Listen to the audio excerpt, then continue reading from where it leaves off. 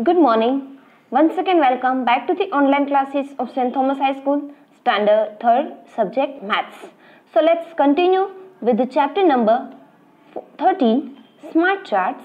In the last video, we have seen till here page number 182. So now open page number 183 in your textbook. One exercise is there what have your classmates brought for lunch today? Find out and note down.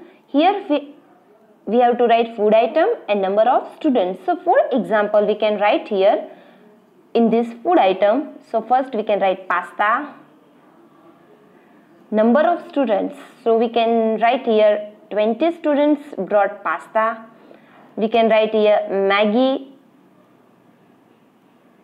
So 10 students brought Maggi. then we can write here popcorn. So 15 students brought popcorn. So other items, other food items also you can write yourself and also you can write number of students also. So food item brought for lunch by the biggest number of student that is pasta. So you can write here pasta then food item brought by the smallest number of students that is Maggi. So you can write here Maggi. Okay. So this is one simple exercise. The next getting smart with charts. Attendance board. So here one attendance board is there of class first, second, third, fourth and fifth. The number of students in the first class number of student 27 second class 23 third 24 fourth 22 and fifth 25 and student present on the day on the date 8th February 2007 so 25 students present. In the second class 22 third class 21 present. Fourth class 18 present. In fifth class 23 present. So the number of students absent, two students absent in first standard, then in the second standard, one absent, third standard, three absents, fourth standard, four absent, and fifth standard, two absent. So this board shows the number of students in each class. Yes. It also shows the number of students present and absent. Yes. Here present students and here absent students. Now, how many children children in all are there in the school?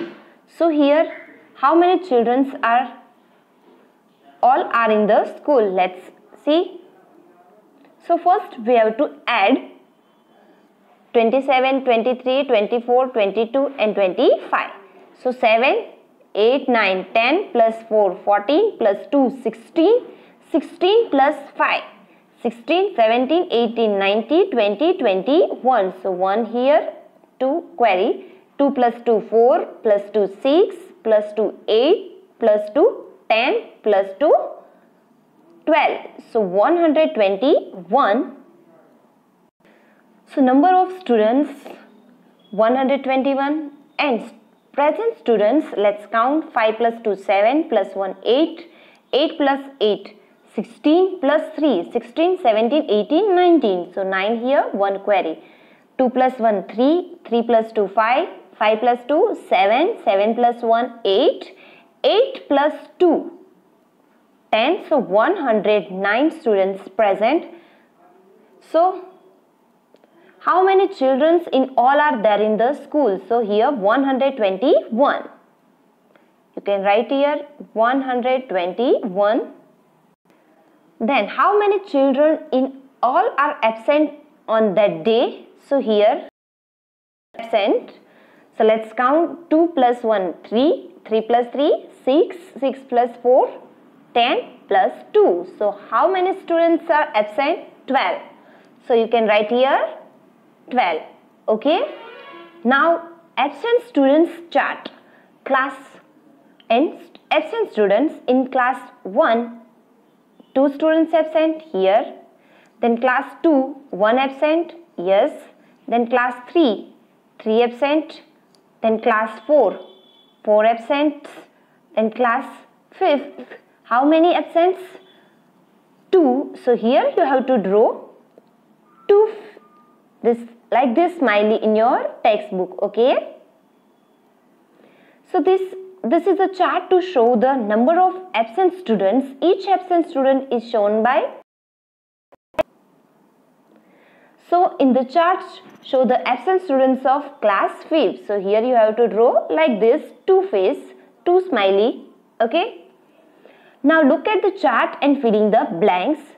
In the class with the highest number of absent student is here. In the first class 2 absent, second 1 absent, then third 3 absent, fourth 4 absent and fifth 2 absent. So, in the class 4, highest number of absent students in class 4. So, here you can write class 4. Okay. Then, the class with the least number of absent students. So, you can see here 1. In the class 2nd. So, you can write here class 2nd class second okay? Then the class with three students absent is in which class three students absent? In the class 3 so you can write here class 3 okay?